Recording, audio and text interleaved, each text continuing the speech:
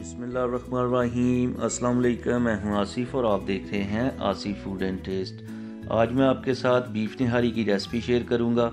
ज़बरदस्त रेसिपी है और मेरे कुछ दोस्त हैं जिन्होंने मुझसे ये फरमाइश की है कि, आसिफ भाई, आप जो है वो हमारे लिए बीफ निहारी की रेसिपी शेयर करें। तो आज उनकी फरमाइश पर जो है ये रेसिपी शेयर कर रहा हूँ। रेस्टोरेंट स्टाइल रेसिपी है, जिस तरह रेस्टोरेंट में बनाई जाती है, इसी तरह मैं आज आपको घर में बनाना सिखाऊँगा। वो भी आसान तरीके से और वो कौन से मसाला जाते हैं जिसकी वजह से होटल और रेस्टोरेंट में बनने वाली निहारी टेस्टी और कलरफुल होती है। तो रेसिपी को पूरा देखना है, स्किप नहीं करना ताकि जब आप घर में ट्राई करें तो आपकी जो रेसिपी है वो ख़राब ना हो। रेसिपी अच्छी लगे तो लाइक करें, ज़्यादा से ज़्यादा शेयर करें और जो लोग मेरे चैनल पे नए हैं वो प्लीज़ चैनल को सब्सक्राइब कर लें। और जो घंटी का बटन है उसको ऑल पे क्लिक कर दें। उससे ये फ़ायदा होगा कि मेरी आने वाली हर नई वीडियो का नोटिफिकेशन आपके पास आसानी के साथ पहुँच जाएगा। तो वीडियो को एंड तक देखना है लाइक और शेयर भी करना है। तो आइए मज़ेदार सी निहारी बनाना शुरू करते हैं। तो यहाँ पर मैंने वन के जी बीफ ली है, जिसे मैंने बड़े पीसीज में कट करवा लिया था। नॉर्मली तो जब हम घर में मीट बनाते हैं और जो बोटियों का साइज़ होता है वो छोटा होता है, लेकिन निहारी के लिए जो है वो थोड़ी बड़े साइज़ की बोटियाँ ली जाती हैं। तो अगर आप बीफ पसंद नहीं करते, आप मटन या चिकन भी ले सकते हैं, एक ही रेसिपी है। यानी जो भी आप पसंद करते हैं वो ले सकते हैं। फोर टेबल स्पून मैंने निहारी शान मसाला लिया है, ये मार्केट से इजी अवेलेबल है, वहाँ से आप ले सकते हैं। दो मैंने ग्रीन चिली ली है, एक बड़े साइज़ का लेमन लिया है, एक टुकड़ा जो है वो जिंजर का लिया है और एक फ्राई प्याज लिया है। और जो दूसरे मसाला जाता है वो आगे जाके हम वीडियो के अंदर डिस्कस करेंगे तो आइए बनाना शुरू करते हैं। सबसे पहले हाफ़ कप ऑयल कढ़ाई के अंदर डालेंगे और वेट करेंगे कि जो ऑयल है वो गर्म हो जाए। तो ऑयल जो है वो गर्म हो चुका है तो अब हम इसके अंदर जो मीट है वो ऐड करेंगे।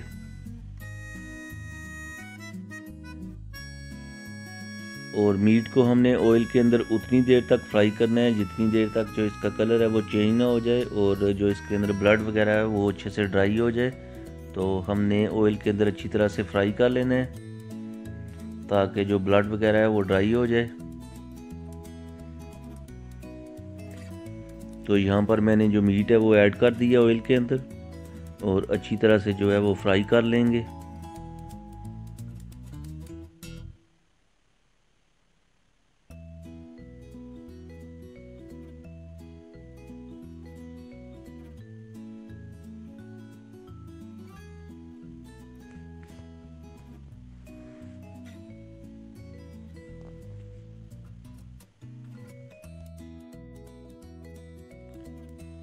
मीट का जो कलर है वो चेंज होना शुरू हो गया है। तो ऑयल के अंदर अच्छी तरह से इसकी बुनाई करेंगे।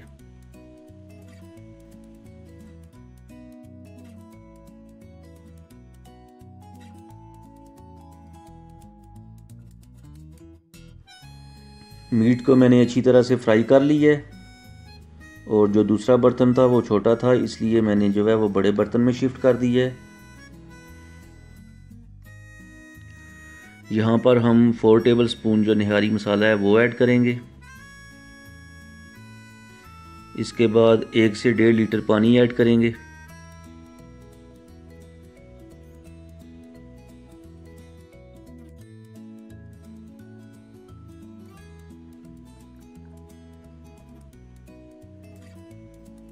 एक दफ़ा सारी चीज़ों को मिक्स कर लेंगे।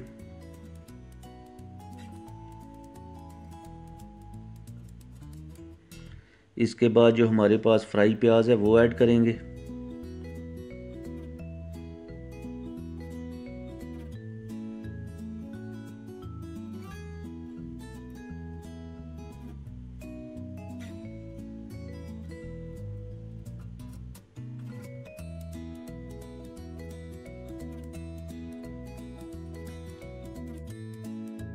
और दोबारा से जो है वो मिक्स कर लेंगे।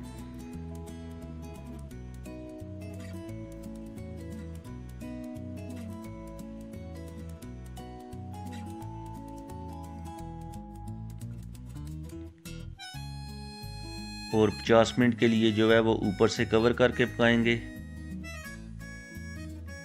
और जो चूल्हे की फ्लेम है, उसको हमने लो कर देना है ताकि जो मीट है वो अच्छे से गल जाए। और दरमियान में हम एक दफ़ा चेक कर लेंगे। अगर कोई थोड़ा बहुत पानी हमें ऐड करना है तो वो ऐड कर लेंगे ताकि जो मीट है वो अच्छे से गल जाए। इसलिए हमने इसको 50 मिनट जो है ऊपर से कवर करके पकाना है।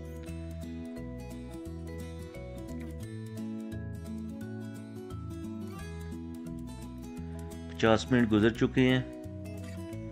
कवर हटाएँगे और चेक करके आपको दिखाते हैं कि जो मीट है वो गल गया है या उसमें थोड़ी बहुत अभी कोई कसर बाकी है। तो अभी आपको जो है वो चेक करके दिखाते हैं।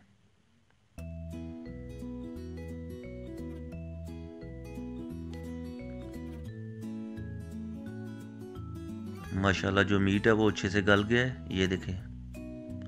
बिल्कुल जो है वो टेंडर हो गया है।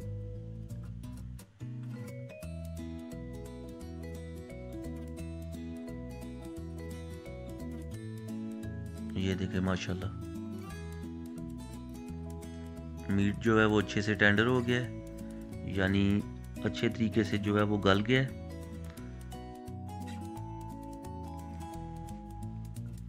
तो अभी हम वन टेबल स्पून नमक ऐड करेंगे।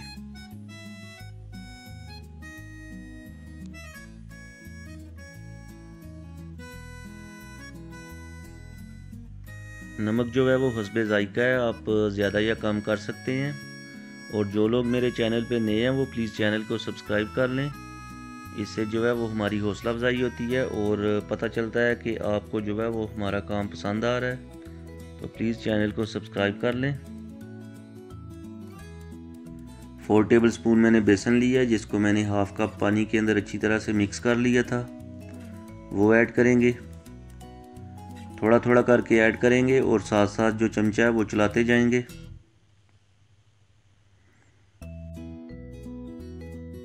और बेसन को पानी के अंदर अच्छी तरह से मिक्स कर लेना है ताकि जो उसमें गुठलियाँ और लम्स हैं वो ख़त्म हो जाएँ। और थोड़ा थोड़ा करके हमने ऐड करते जाना है और साथ साथ जो चमचा है वो हिलाते जाना है। और जो चूल्हे की फ्लेम है उसको हम लो कर देंगे।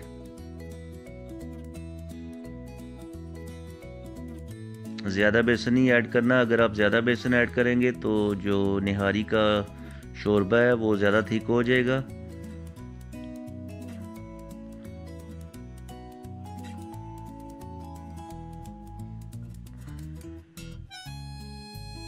तो यहाँ पर मैंने जो है एक पैन लिया है, जिसके अंदर four tablespoon oil add करेंगे। और साथ ही हम जो है वो जिंजर ऐड करेंगे, जिसको मैंने बारीक जूलियन साइज़ काट लिया था।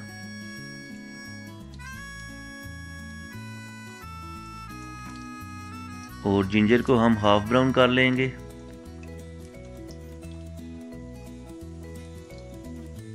फुल ब्राउन नहीं करना और ना ही जो है हमने उसको जलाना है, बल्कि हाफ़ ब्राउन कर लेना है।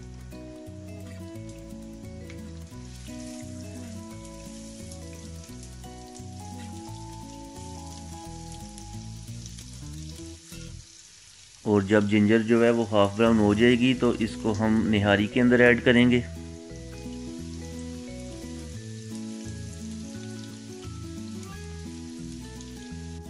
जिंजर हाफ़ ब्राउन हो चुकी है तो अब हम इसको जो है वो निहारी के अंदर ऐड करेंगे। ये देखें, माशाल्लाह।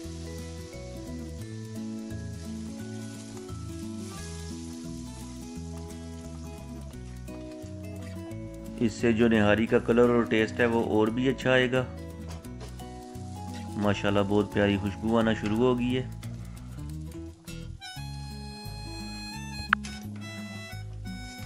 माशाल्लाह, जो ऑयल है वो ऊपर आ गया है तो यहाँ पर हम कटी हुई ग्रीन चिली ऐड करेंगे।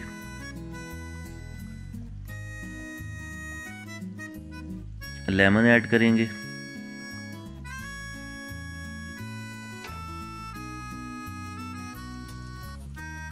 इससे जो टेस्ट है वो और भी अच्छा आएगा। और बिल्कुल रेस्टोरेंट स्टाइल जो है वो हमने निहारी तैयार की है। आप भी ज़रूर ट्राई कीजिएगा। और निहारी जो है वो तैयार हो चुकी है। माशाल्लाह।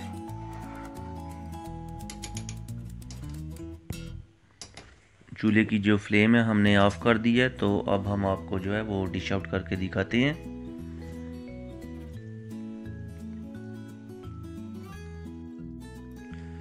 ये देखें, माशाल्लाह फाइनल लुक